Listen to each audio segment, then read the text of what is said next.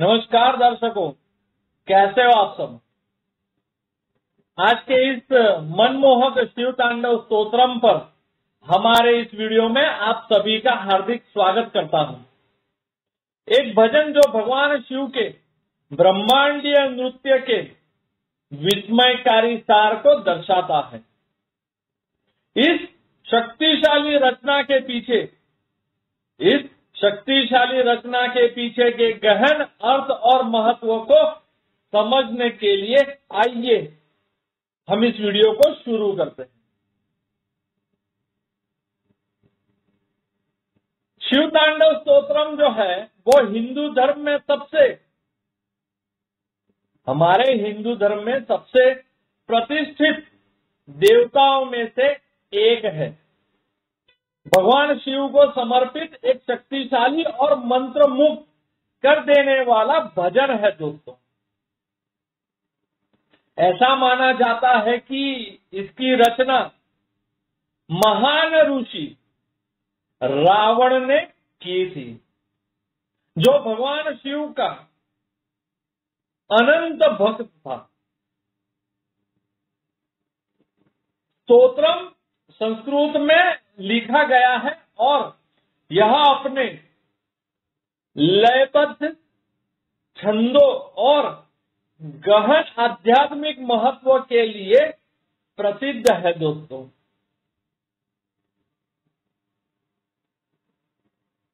तो आइए, आज हम ऐसी ही पाँच गहन आध्यात्मिक महत्व जानने का प्रयास करते हैं। पहला है उत्पत्ति और महत्व। है ना? इसकी पहली जो आध्यात्मिक महत्व जानकारी जो है, वो है उत्पत्ति और महत्व।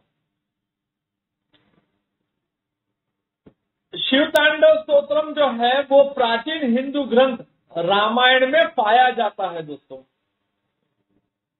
ऐसा कहा जाता है कि रावण ने अपनी भक्ति प्रदर्शित करने और उनका आशीर्वाद प्राप्त करने, है ना, उनका आशीर्वाद प्राप्त करने के लिए भगवान शिव की, भगवान शिव की स्तुति में इस स्तोत्र की रचना की थी। स्तोत्र भगवान शिव की महिमा, शक्ति और लौकिक नृत्य को दर्शाता है, जिसे तांडव के नाम से जाना जाता है दोस्तों।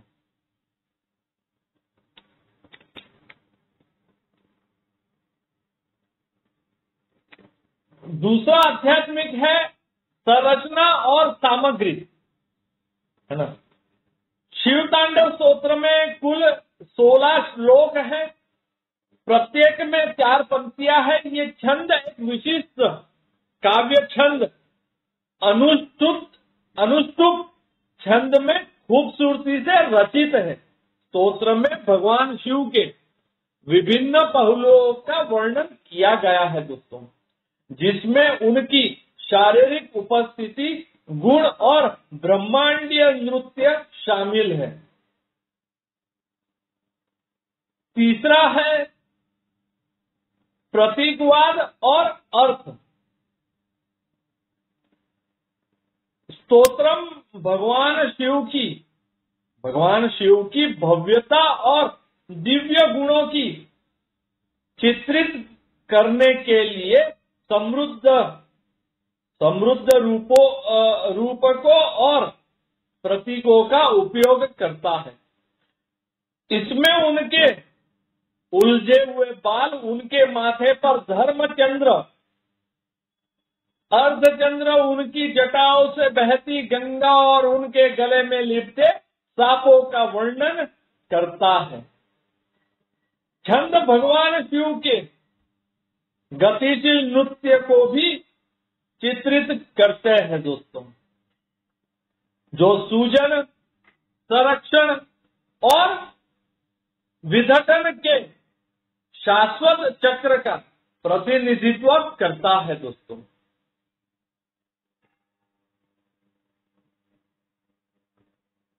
अब चौथा है भक्ति अभ्यास। है ना? शिव तांडव स्तोत्रम का पाठ करना और उसे सुनना भगवान शिव के प्रति भक्ति और श्रद्धा का कार्य माना जाता है। कई भक्तों का मानना है कि इस भजन का जाप या ध्यान करने से आशीर्वाद, आंतरिक शक्ति और आध्यात्मिक जागरूकता का आह्वान किया जा सकता है। क्या होता है इस भजन को सुनने से? भजन का जाप या ध्यान करने से आशीर्वाद, आंतरिक शक्ति और आध्यात्मिक जागृति का आह्वान किया जा सकता है दोस्तों। इसे अक्सर विशेष अवसरों, त्योहार या दैनिक प्रार्थनाओं के एक भाग के रूप में पढ़ा जा सकता है। अब पांचवा महत्व, पांचवा और आखिरी संगीत रूपांतरण। वर्षों से शिव तांडव स्तोत्रम ने विभिन्न संगीत रचनाओं को प्रेरित किया है। यह हिंदुस्तानी शास्त्रीय, कर्नाटक शास्त्रीय और फ्यूजन शैलियों सहित विभिन्न शास्त्रीय संगीत शैलियों में प्रस्तुत किया जाता है। ये संगीतमय ये संगीतमय प्रस्तुति, प्रस्तुतियाँ स्तोत्रम के पहले से ही गहन गीतों में एक मधुर और मनमोहक आयाम जोड़ती आई है दोस्तों।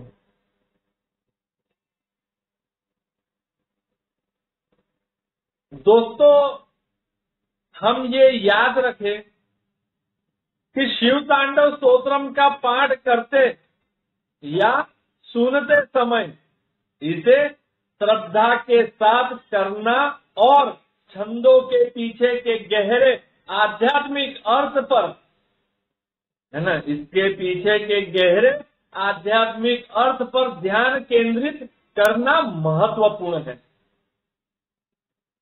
यह प्रेरणा के स्त्रोत्र के रूप में काम कर सकता है दोस्तों।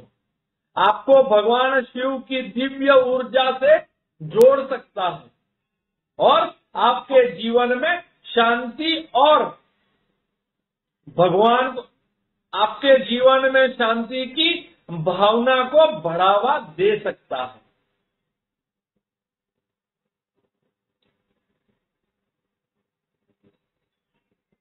हम शिव तांडव स्तोत्रम की अपनी खोज यहीं पर ही समाप्त करते हैं दोस्तों। हम आशा करते हैं कि इस यात्रा ने,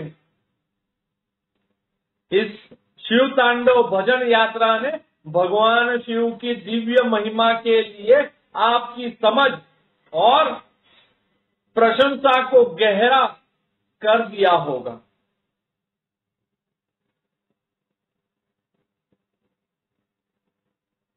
इस भजन के लयबद्ध छंद आपके भीतर गूंजते रहे, भक्ति को प्रेरित करे और आपके आध्यात्मिक संबंध को जागरूक करता रहे दोस्तों।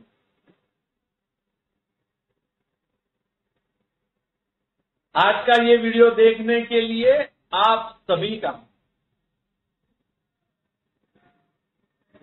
धन्यवाद।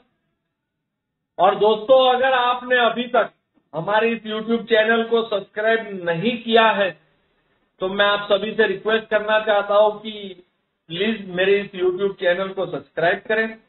और अगर आज का वीडियो आपको अच्छा लगा हो तो इस वीडियो को लाइक करें शेयर करें। धन्यवाद। ओम नमः शिवाय, हर हर महादेव।